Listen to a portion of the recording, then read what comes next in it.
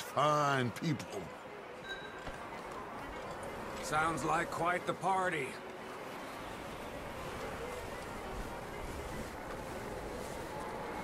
You two, get yourself out of sight.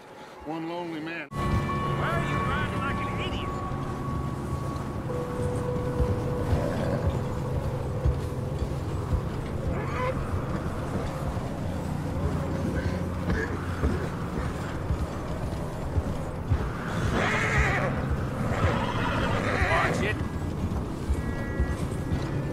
Okay, let's keep it down now.